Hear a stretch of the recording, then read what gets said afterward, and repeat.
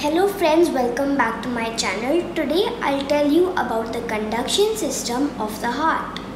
But before that, let me tell you about heartbeat and heart sounds. I have already told about heart anatomy in my video, so please go watch it.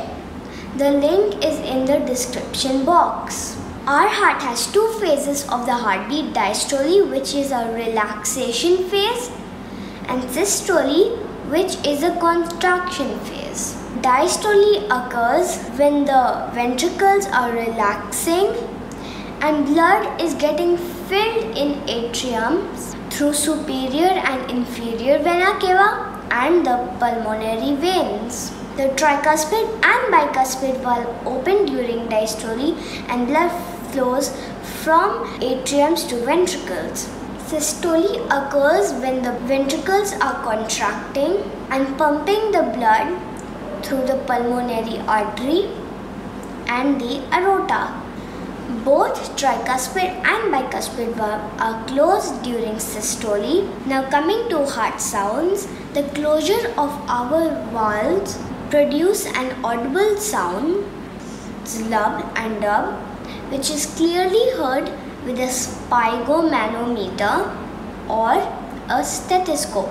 Lub is associated with the closure of tricuspid and bicuspid valve and dub is associated with the closure of aortic and pulmonic valve. Now coming to the conduction system of the heart, have you ever wondered what keeps our heart beating at a perfect rhythm?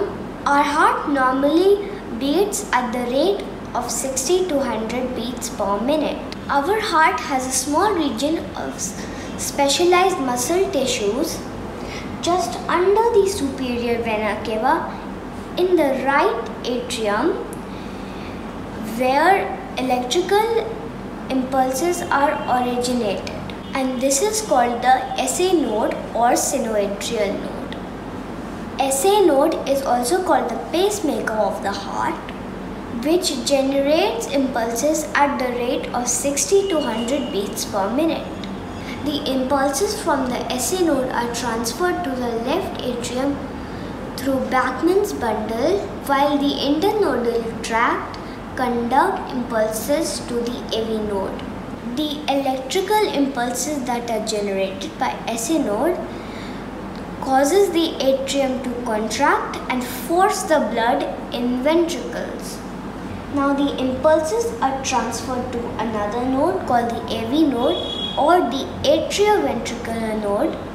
The AV node is situated between the interatrial septum. AV node transfers the impulses at the rate of 40 to 60 beats per minute. Impulses from SA node are slowed down so atrium can empty the blood completely. Now impulses from AV node are transferred to the bundle of His which is situated in the interventricular septum. The bundle of His divides into the right and left bundle branches and both bundle branches terminate in a network of conduction fibers called Purkinje fibers. These fibers carry the electrical impulses directly to the ventricles at the rate of 20 to 40 beats per minute.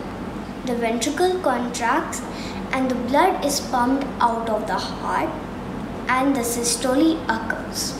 There's a short period of time and then the pacemaker again starts generating impulses and again the cycle begins.